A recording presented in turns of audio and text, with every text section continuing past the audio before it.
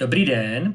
Pojďme se podívat, jak si nechat své vydané faktury proplácet skrze službu eh, proplatit s Rogerem přes společnost eh, Roger. První věc, která je, je nutná, je, abyste u nás v systému v Keflow byli evidováni jako zákazník společnosti Roger. Pokud už jste zákazníkem společnosti Roger, tak nám napište, my vás my si vás u nás zaškrtneme, že jste zákazníci a můžete funkci používat.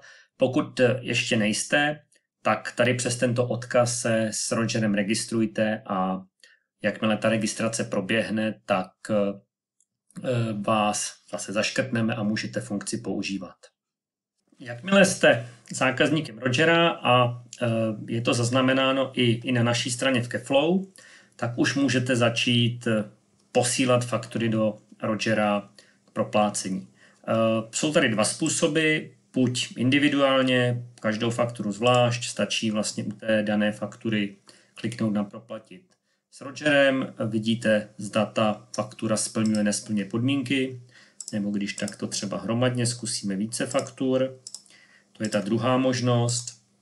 Hromadně proplatit s Rogerem, tak vidíte vlastně, které ty faktury splňují parametry, a e, pokud je nesplňují, tak vám vždycky tady řekneme vlastně, co je důvod toho, toho nesplnění a můžete to opravit. Když dáte odeslat, odešlou se jenom ty splňující. Když se bavíme o těch podmínkách, my v nápovědi ty podmínky máme rozepsané, nicméně ze základu jde o to, aby ten odběratel figuroval na takzvaném whitelistu Rogera, což je seznam vlastně firem prověřených, u kterých lze Eh, požadovat o proplácení.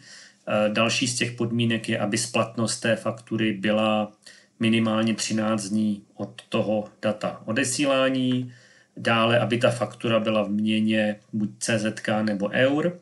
A zároveň eh, vlastně na té faktuře musíte zvolit účet Rogera a to ten takový, aby odpovídal té měně. To znamená buď účet Rogera pro koruny nebo pro eura podle té měny faktury.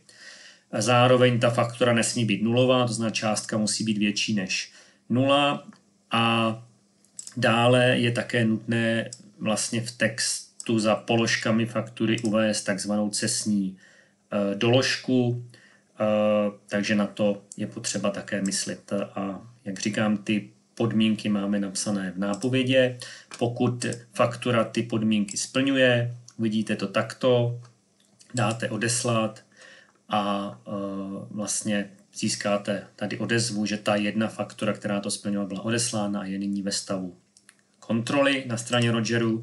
Když se podíváte do detailu té faktury, tak tady vlastně vidíte tu, tu změnu toho stavu a uh, jakmile se stav na straně Rogera změní, například, že dojde k zamítnutí nebo naopak schválení toho proplácení, tak opět eh, my tady aktualizujeme ten stav a uvidíte, že ta faktura eh, se třeba posouvá nebo je dokonce proplacena.